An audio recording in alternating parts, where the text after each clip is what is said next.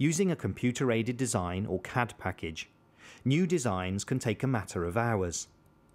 Beginning with a basic pattern, different kinds of stitches and colours are dragged and dropped onto the design. I'm doing a cable design. So what I've done is I've selected just a plain front knitted stitch and now I'm selecting the cable twist, putting it into the plain fabric and just multi-copying and making an all over cable design. The next step is to create the shape of the garment. The computer automatically calculates the different sizings. With so much design freedom, it's important not to get carried away. Each extra stitch or colour means more time on the knitting machines, and that costs money.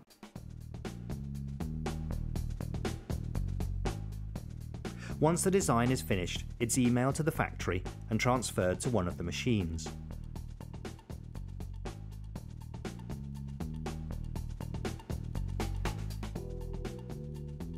A sample garment can be knitted in less than an hour, and when it's been approved, the machines are simply programmed to knit more in whatever sizes are needed.